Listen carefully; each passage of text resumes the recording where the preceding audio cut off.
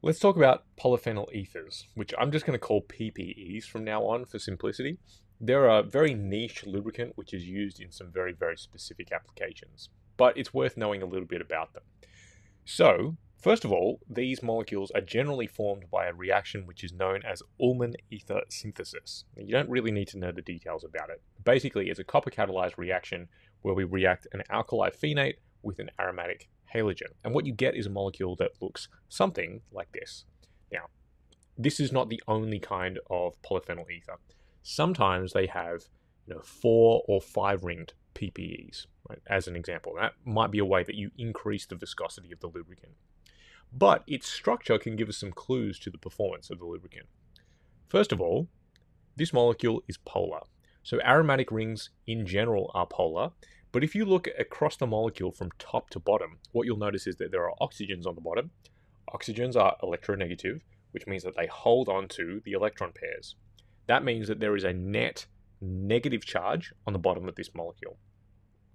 The other thing is that these are extremely good high temperature lubricants. Right? They perform very, very well at high temperatures. Most of these are designed to operate continuously in the high 200s to low 300 degrees Celsius. And that's not really something that you typically see with synthetic lubricants. You know, a mineral oil certainly not, right? Even getting into sort of 100 degrees Celsius is is quite high for a mineral oil. And sustained temperatures in sort of the mid 100s, that's very high for even a polyalpha olefin. So these to be able to operate at sort of the 200 to 300 degrees Celsius mark, that that's a very, very high temperature application. Now, these are not the only kind of PPEs. In some circumstances, you'll find PPEs where they substitute out one of the oxygen connectors with a sulfur, and that'll give it slightly different properties and uh, a slightly lower uh, temperature threshold. However, the structure of this does give us a clue as to the biggest weakness of these lubricants, which is its cold temperature performance. Now, you might think, hmm, hang on, that doesn't really make sense. I thought that the aromatics have really good pour points, and they do, but let's explain that. So remember, paraffins, which are waxes, tend to have very, very uh, high pour points, which is not desirable, because they are easily able to stack and form crystal structures. So what happens at low temperatures is that the intermolecular forces of these uh, particular molecules, it can overcome the kinetic energy of the molecules trying to escape away from each other. Typically, when we have an aromatic ring that we include in here, what it does is geometrically it forces these uh, molecules to be further apart. Right? And that means that the intermolecular forces between the chains reduce. Right? So that's what um, aromatics generally do for pour points. Now, PPEs are the exception to this because if we look at the shape, well, PPEs stack together really nicely on top of each other.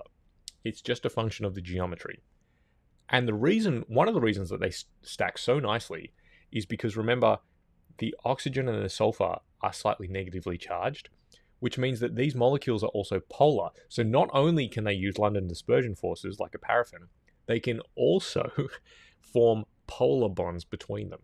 Right? That means that they crystallize at reasonably high temperatures. In fact, uh, most polyphenyl ethers uh, have pour points that are in positive degrees Celsius, so around sort of 5 to 10 degrees Celsius.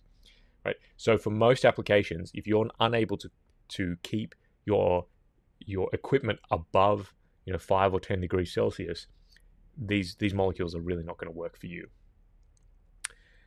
One of the other um, things that's a little bit unique about it is just like an ester, because it has that negative charge on the bottom, it is attracted to metal surfaces. So sometimes that's really good. We want that because it, it gives us enhanced film strength.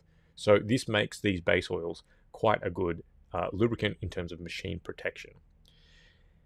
The other thing that it does is that because it has um, some polarity to it and the intermolecular forces are quite strong, that gives it really high surface tension. And what surface tension means for these lubricants is that they don't wet metal surfaces. So what do I mean by wetting a metal surface? Well, the the curvature, if I place a drop onto a metal surface, is going to be quite quite narrow, which means that it tends to form droplets. This means a couple of things.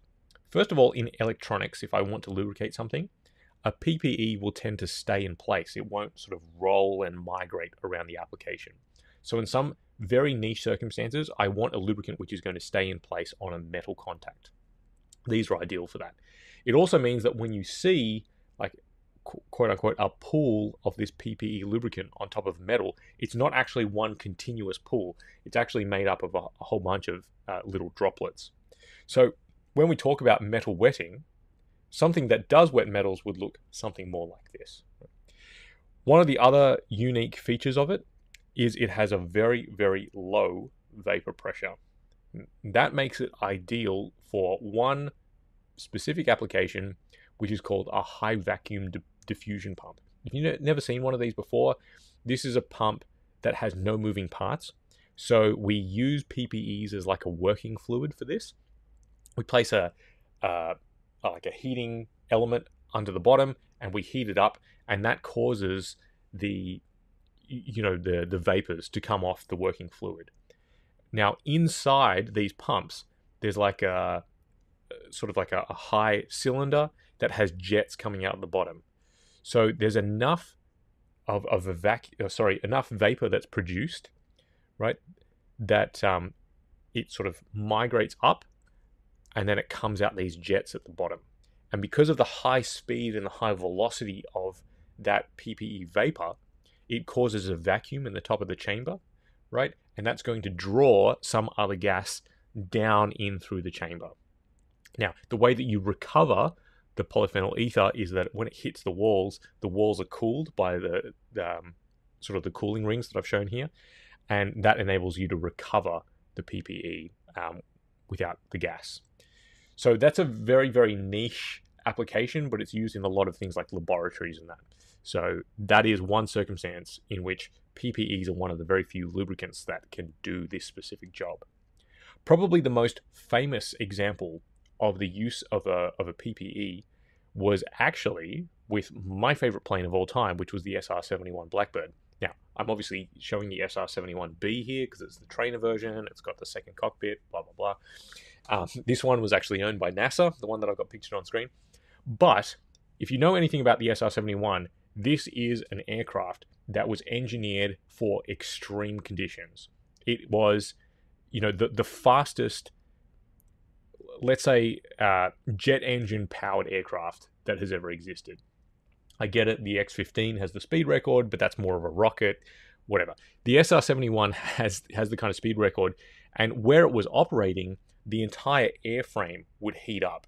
So, this is a plane that was um, famous for the fact that it leaked fuel while it was sitting on the tarmac. And that's because they had to actually have gaps in the fuselage um, to allow for the expansion of the titanium fuselage as it got up to to altitude and um, and its operating speed.